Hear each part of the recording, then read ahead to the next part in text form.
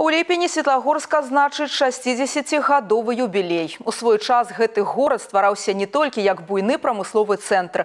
Архітэктары імкнуліся да таго, каб ён быў максімальна камфортным для жыцця. Асаблівасці будаўніцтва Светлагорска ў матэрыяле нашых карэспандэнтаў.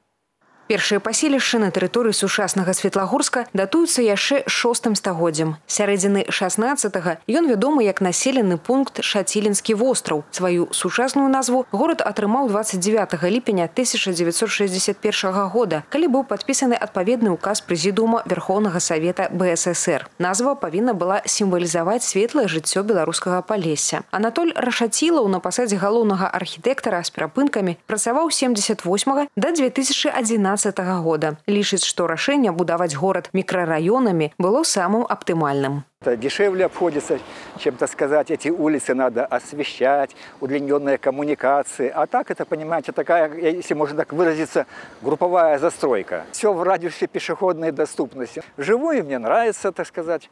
Вот. Ну, знаете, у каждого города свой, так сказать, есть генетический код.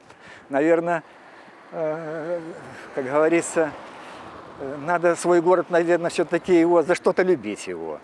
Может, за тех добрых людей, за таких где-то, может, где-то и смелых, и в то же время ну, что, спокойных, наверное. Дарэчы, спачатку светлагорскія мікрараёны мелі толькі лічбавыя назвы, але потым мясцовае кіраўніцтва вырашыла даць ім асабістыя імёны. У нас был микрорайон номер 1, 2, 3, 4, 5, 6 и так далее. Но потом, так сказать, мы решили, ну, некрасиво вроде бы как. Давайте дадим каждому микрорайону название. Ну, первый решили его знать, как революция 17 -го года, так и решили назвать это. И микрорайон Октябрьский. Второй там назвали, как раз был праздник где-то какой-то был, э, по-моему, столетие со дня рождения Ленина. Ага, да, вот так что-то назвали, Первомайский его, Первомай. Ну и так, а третий, самый большой. Молодежи много было, детские садики, школы. Назвали его молодежные. Вот, четвертый, так сказать, там тоже был какой-то у нас юбилей. Ну, и так вот поназывали, так сказать. Ну, я помню, предложил шатилки наши, так сказать, оставить ему название – хоть память об этом населенном пункте, об этой деревне.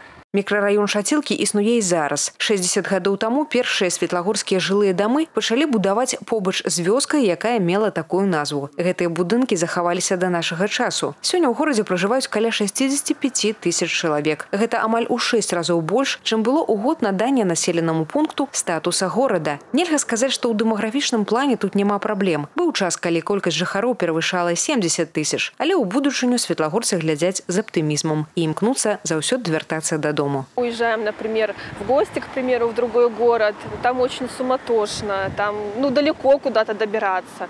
А у нас все в шаговой доступности. Все очень компактно расположено и очень хорошо. Олег Сенцюров, Ольга Коновалова, Евген Макенко, телерадиокомпания «Гомель» со Светлогорска.